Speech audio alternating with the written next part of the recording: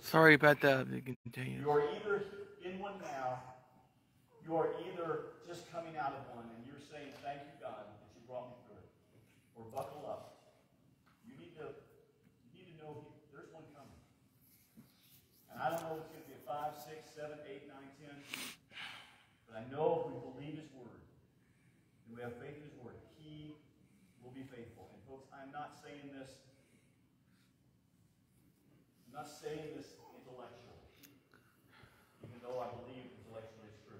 I'm saying it from experience as well. You know, I've heard this phrase, I know if you've heard this phrase before. The phrase goes like this. And it seems like it's just an easy phrase to say, especially when somebody's going through a storm. You'll hear this. Well, God's not going to give you any more than you can handle. Folks, I want you to know something. God gives me more than I can handle every day. Why? So I will lean on Him. Because without faith, it's impossible to please Him. So He gives me opportunities to exercise faith. He gives me stuff I can't handle all the time. That's right.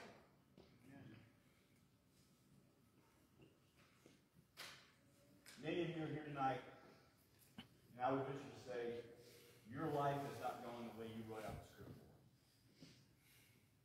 Because somehow God intervened. I know for sure mine hasn't.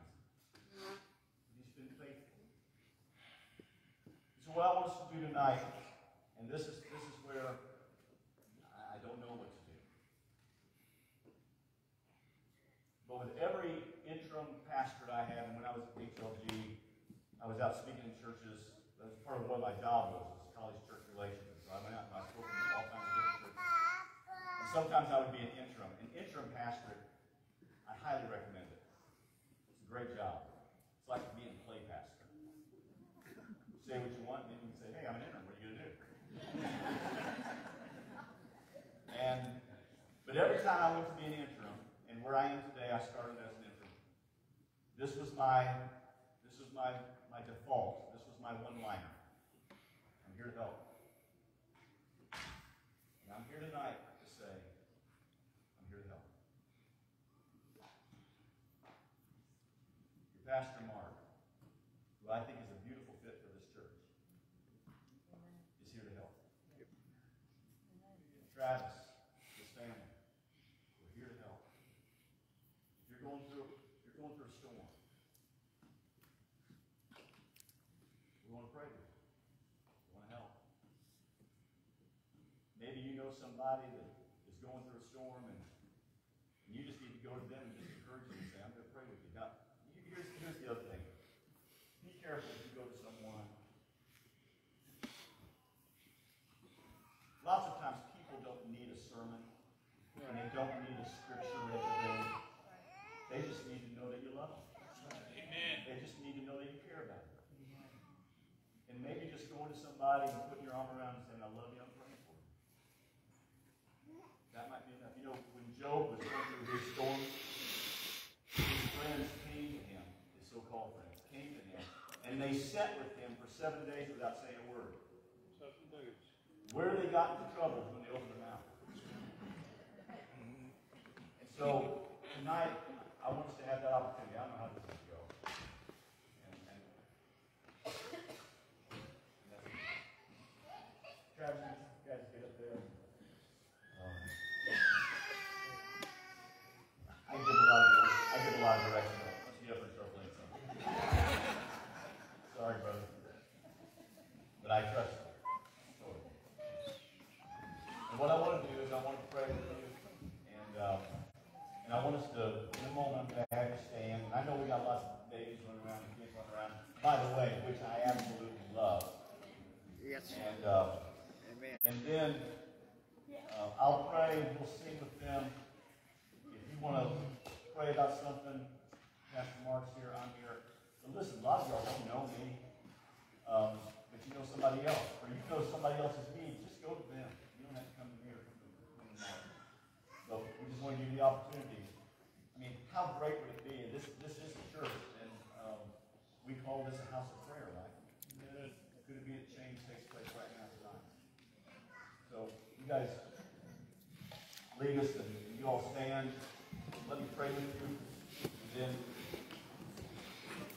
we'll just let the Lord lead us.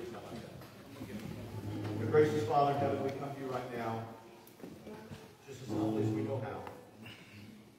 Trusting you to help people who need help tonight. We also pray, dear God, that you would uh, let the words of our mouth and the meditation of our heart be acceptable in your sight. We pray that your will would be done. We pray, Lord, for people who have help, need help tonight, that they be encouraged. And we will give you praise through our obedience.